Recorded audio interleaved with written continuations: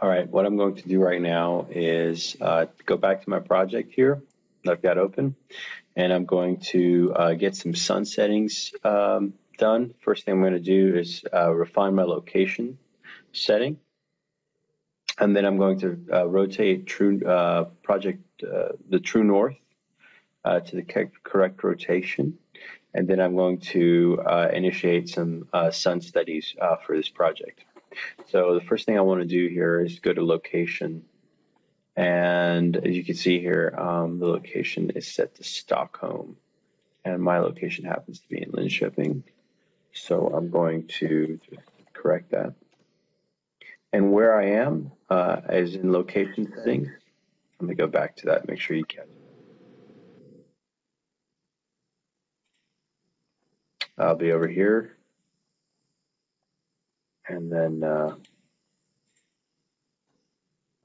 go ahead and set that, setting that search. You can see here, I get the Linköping location on this map. So I will accept that. And then um, I'd like to, you can see um, this is my survey that I have on my view. And what I'd like to do is set my true north uh, to the correct rotation. Depending on how your view set up, if you go down to orientation, uh, you may have true north or project north.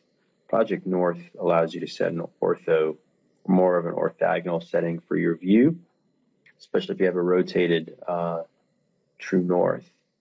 Uh, but when I go to true north here on this setting and apply, you can see that my true north is also set to be orthogonal. I actually want it to have this rotation so that my sun settings uh, will come in correctly. So what I need to do is come into um, position, rotate true north, and uh, grab my the center of rotation here and set this to rotate to orthogonal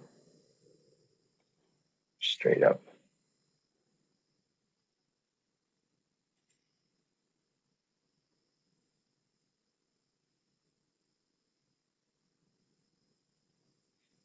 There.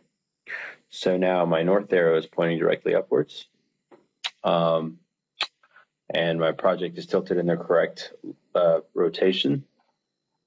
And when I go back to Project North, I still have my true north setting. So all that's good. It's just on the solar, it's going to understand exactly my solar angle. So now I can start setting up some solar views here, kind of like the way I set up my design views. So let's go back to one of my uh, 3D views here, maybe this one. There. So here I've got this uh, uh, view of my um, project at the corner so what I what I would kind of want to start to see here is some uh, some um, shadows and and solar effects. So let's go ahead and turn on the shadows. And uh, you can start to see I get I get some shadow play here. Uh, I'll go into my graphic design options and go into my lighting, my sun setting. And uh, you can see that my location is coming in and coordinating well. So what I'd like to do is, um, before I do all this, uh, let's go ahead and set some um, views for this. So I'll duplicate this view and rename it.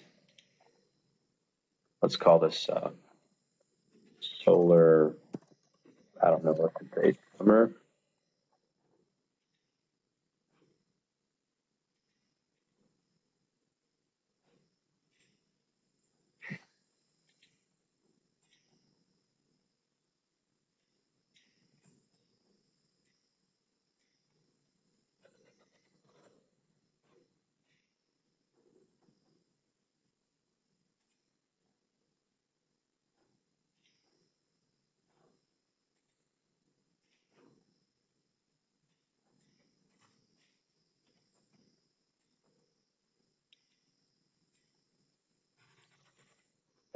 That I have like three possible views. I could do times of day or times of year, whatever.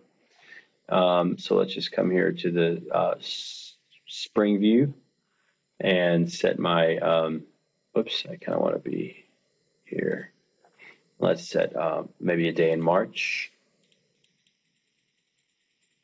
You can actually pick the year. So let's just go to March 2012, 22nd. And notice it's asks you to set your ground plane. My ground plane is actually um, at level three. And uh, um, let's try three o'clock in the afternoon. So now I get some sense of what that looks like. Another thing to play with is if you want your, you know, your kind of your shadows to start showing up a little bit strong, you can play with these uh, settings here.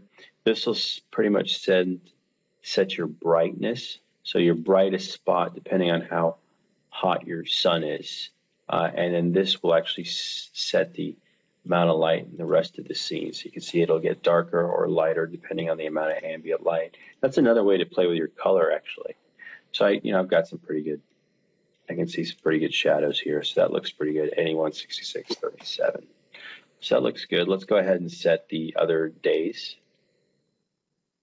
and I could, you know, rename this to uh, three in the afternoon.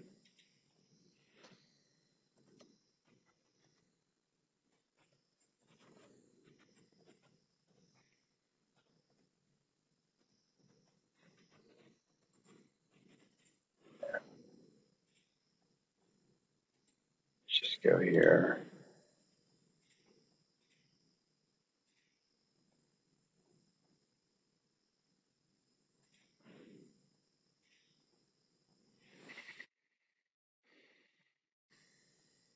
I think I'll just come in and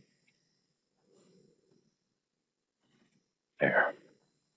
And that three in the afternoon every day. Uh, maybe we want ours to be in the morning.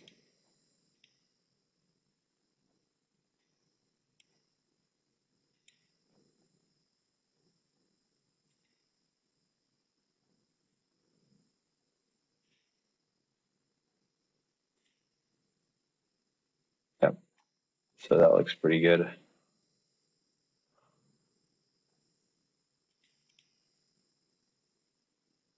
Oh, I'm still in the spring. Let me cancel out.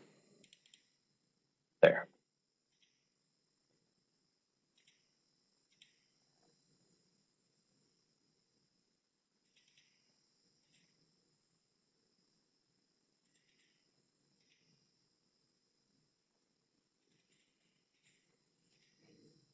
Say 9 a.m. shot there.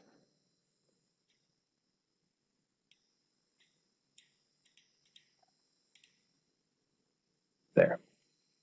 So there's your kind of a summer day.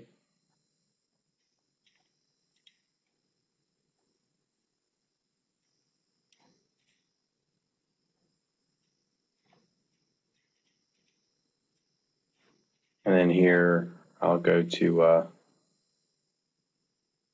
621, 9 a.m. Okay. So let's just rename that.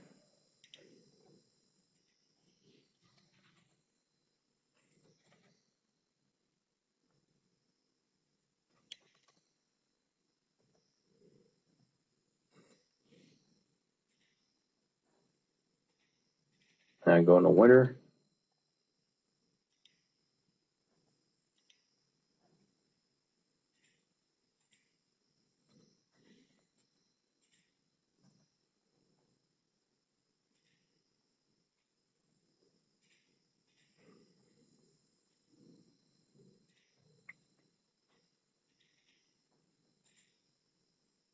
There, that's pretty kind of stark.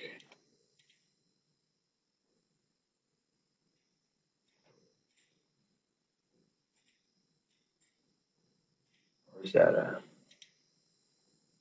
three o'clock in the winter? Okay.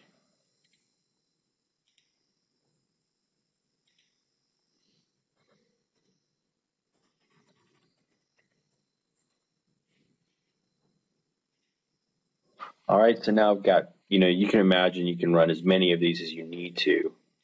And then, um, you know, putting these on a sheet is pretty straightforward. It's kind of like what we went through before.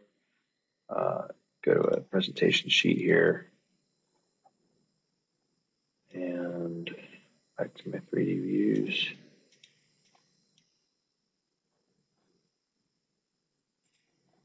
I can see these side by side.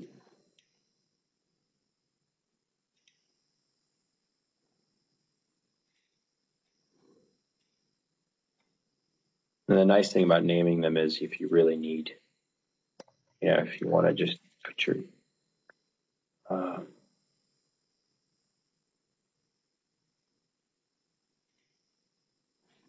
there, you can just kind of get your, um, if you name your view, you can easily get your uh, names to show up here.